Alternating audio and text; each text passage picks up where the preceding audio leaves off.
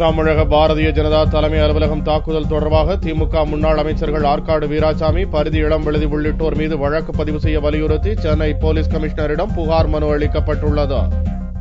முந்தைய திமுக ஆட்சியின் போது சேது சமுத்திர திட்டம் தொடர்பாக ராமர் பற்றி கருணாநிதி விமர்சித்தார். ராமர் பற்றி இழிவாக பேசுவோரது நாக்கையும் தலையையும் துண்டிப்போர்க்கு எடைக்கு எடை தங்கம் வழங்குவதாக ராம்விலாஸ் வேதாந்தி கூறிய செய்திகள் வெளிவந்தன.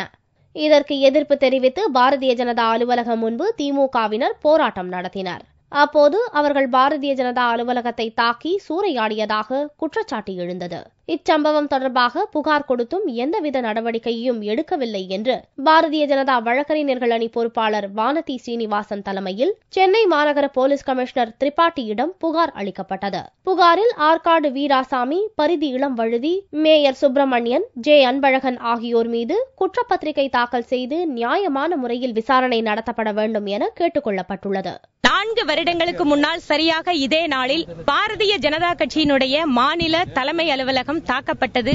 எங்களுடைய நிர்வாகிகள் காயம்பட்டார்கள். இந்த குற்ற நிகழ்வு சம்பந்தமாக முதலில் அறிக்கை கொடுத்தவர் திரு ஆற்காடு வீராசாமி அவர்கள். இந்த ரவுடித்தனத்தை வண்டலிசத்தை தலைமை தாங்கி அதற்கு உறுதுணையாக இருந்து நடத்தியவர்கள். திரு பருதி இளம்வழுதி அப்போதைய மேயராக இருந்த திரு சுப்பிரமணியம் அவர்கள். மாவட்ட செயலாளர் அன்பழகன். மீடியாக்களை வந்த செய்திகள் அனைத்தையும் இன்று மாநகர காவல்துறை ஆணையாளரிடம் கொடுத்திருக்கிறோம். நியாயமான முறையிலே விசாரணை செய்து நடவடிக்கை எடுக்கப்படும் என்று உறுதி கூறியிருக்கிறார்.